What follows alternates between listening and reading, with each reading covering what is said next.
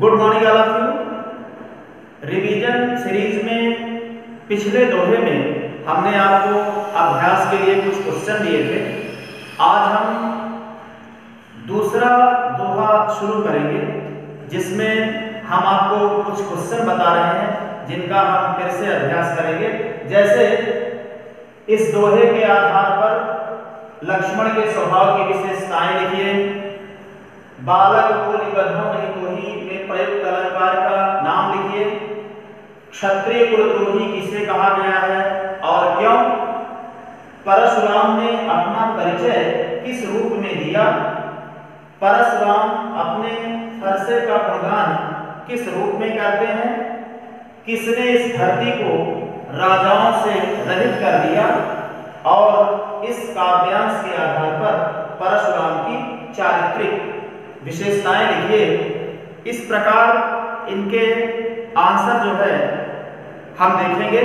तो पहला क्वेश्चन देखेंगे। इस दोहे के आधार पर लक्ष्मण के स्वभाव की विशेषताएँ बताइए। तो आपको लिखना है कि दोहे के आधार पर लक्ष्मण वाकपटु हैं, बोलने में निपुण हैं, निर्भीक हैं। वह अस्त्र शस्त्र चलाने के साथ साथ शब्दवाण में भी निपुण है। वह व्यंग वचनों से परशुराम का मुकाबला करते हैं और धनुष को पुराना कहकर उसका मज़ाक उड़ाते हैं। फिर दूसरा है, बालक बोली बधौ नहीं तो ही में प्रयुक्त अलंकार का नाम लिखिए। तो पिछले वर्ष हमने आपको बताया था, यहाँ पर बाकी आवृत्ति के कारण अनुप्रास अलंकार का प्रयोग दिखाई देता है।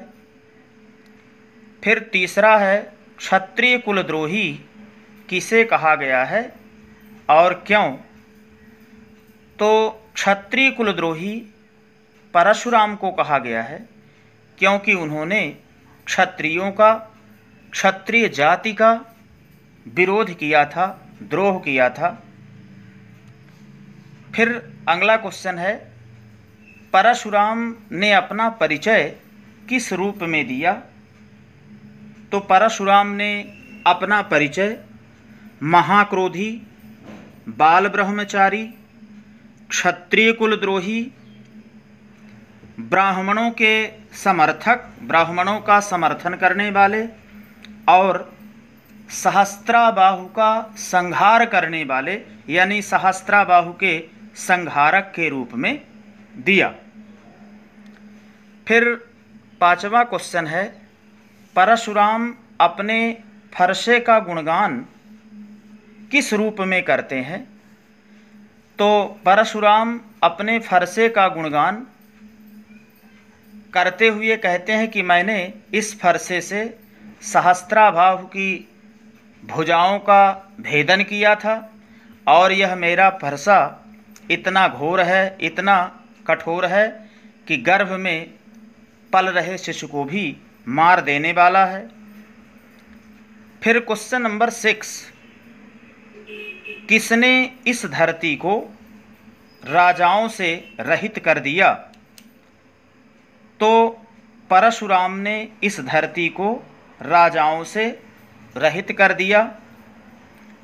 सहस्त्राबाहु का उल्लेख बार बार आया है। तो मैं आपको बताना चाहता हूँ, सहस्त्राबाहु एक राजा था, जो शिकार खेलते हुए अपने सेना के सहित दल बल के सहित, महर्षि जमदग्नि के आश्रम के निकट से गुजरता है। महर्षि जमदग्नि परशुराम के पिता थे। उनके पास कामधेनु गाय थी, जो हर आकांक्षा को, हर अपेक्षा को पूर्ण करती थी। सहस्त्राबाहु अपनी सेना के सहित वहीं ठहर जाता है और महर्षि से आग्रह करता है कि वह उसे और उसकी सेना को भोजन इत्यादि कराए। तो कामधेनु जो है सभी अपेक्षाओं को पूर्ण करती थी। तो महर्षि जमदग्नि ने कामधेनु से याचना की और पूरी सेना को उन्होंने भोजन कराया। तब सहस्त्राबाहु के मन में यह विचार आता है कि यह गाय तो मेरे यहाँ होनी चाहिए और वह बलपूर्वक महर्षि के विरोध करने पर भी कामधेनु गाय को लेकर अपने राज्य चला जाता है। अब परशुराम आश्रम में वापस आते हैं तो जमदग्नि ने उन्हें पूरी बात बताई तो वह सहस्त्राबाहु के पास जाते हैं और अपने फरसे के द्वारा सहस्त्राबाहु की हज़ार भुजाओं का भेदन करते हैं, सहस्त्राबाहु का वध करते हैं और कामधेनु को लेकर अपने आश्रम वापस आ जाते हैं। तब सहस्त्राबाहु के सौ पुत्र थे। वो परशुराम की अनुपस्थिति में आश्रम में आक्रमण कर देते हैं और महर्षि जमदग्नि का वध कर देते हैं। परशुराम को जब यह पता चलता है तो उन्होंने संकल्प किया कि इस धरती पर मैं क्षत्रिय वीर होने ही नहीं दूँगा। और कहा जाता है कि परशुराम ने 21 बार इस धरती को राजाओं से रहित कर दिया, राजाओं से हीन कर दिया। तो परशुराम ने इस धरती को, इस धरा को राजाओं से रहित किया। ये लिखने की आवश्यकता नहीं है आपकी जानकारी के लिए है। फिर क्वेश्चन नंबर सेवन इस काव्यांश के आधार पर परशुराम की चारित्रिक विशेषताएँ बताइए। यदि ऐसा पूछा जाता है तो आपको लिखना है कि परशुराम महाक्रोधी थे। वह अपमान सहन नहीं कर सकते थे। वह क्रोध में आकर अपनी भाषा पर नियंत्रण भी नहीं रख पाते थे। और वह अपने परसे से गर्भ में पल रहे शिशु को भी मार देने की बात कहकर अभद्रता का अशिष्टता का परिचय देते हैं। इस प्रकार इसे केवल रफ कॉपी में जहाँ पहले दोहे के क्वेश्चन आप लिखे हैं तो ये क्वेश्चन जो है, वही आपको लिखना है। आंसर लिखने की आवश्यकता नहीं है। इसे केवल सुनना है।